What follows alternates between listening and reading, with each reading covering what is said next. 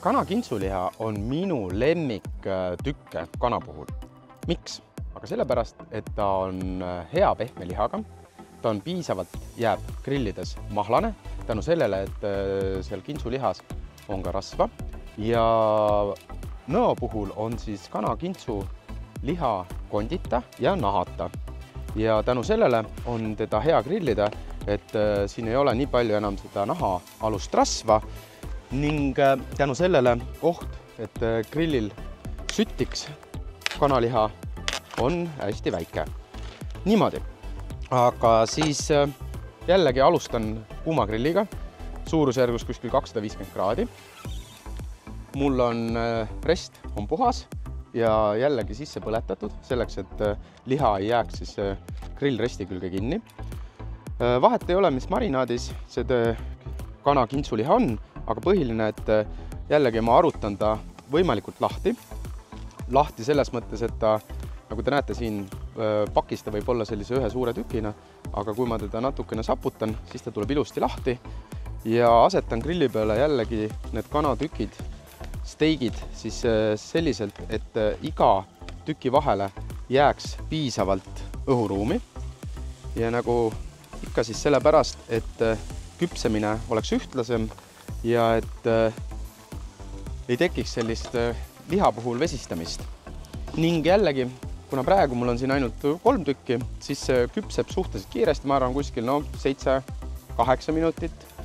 ja kui mul oleks terve grill täis, siis võib-olla läheks natuke kauem, kuna kogu see lihamass jahutab ikkagi mingil määral seda grilli maha ja selleks, et temperatuur taastuks, võtab lihtsalt see aeg ja sealt tulebki see pikem aeg, kui on rohkem liha grilli peal.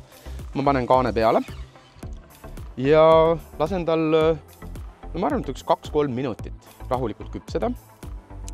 Ja siis äh, keeran teistpidi ja, hakkan vaatama.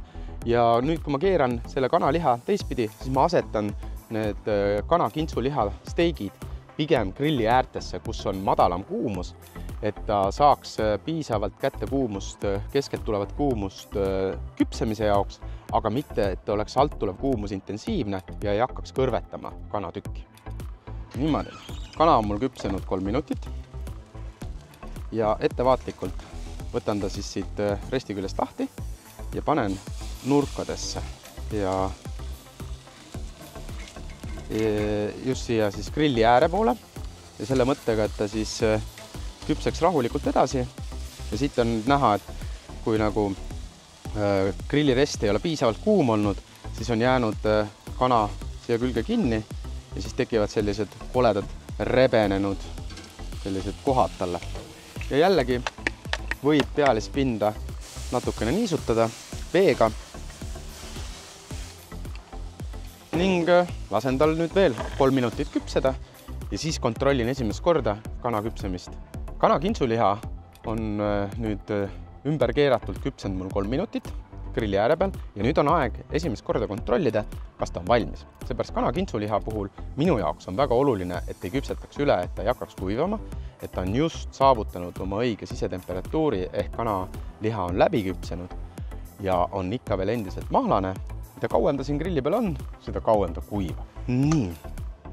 Ja kõige lihtsam nipp selleks, et aru saada, kas kanaliha on küpsenud või tahab veel, on, ma võtan kõige paksema steigi ja siin selle koha peal on mul siis kõige paksem koht sellest steigist, ma lõikan siia sisse lõike noaga ja keeran teda lihtsalt ja vaatan, kas liha on ühtlaselt hele. siin on näha, et ta tahab veel minutikene kaks, et liha ei ole ühtlaselt siis valge või hallika värvusega, vaid siin on ka roosat alatooni.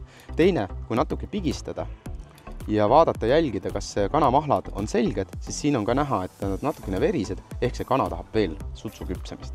panen tagasi grilli peale ja muidugi võib natukene niisutada teda ning äh, lasen tal rahulikult kaks minutit veel küpseda ja siis on see kana kintsulihasteik valmis. Kaks minutit on möödunud sellest, kui ma kontrollisin seda kõige paksemat kanasteigi tükki. näha on, et ta on nüüd juba ilusti läbi küpsenud ja kokku on kulunud mul kaheksa minutit ning ma saan serveerida need tükid. Nad on valmis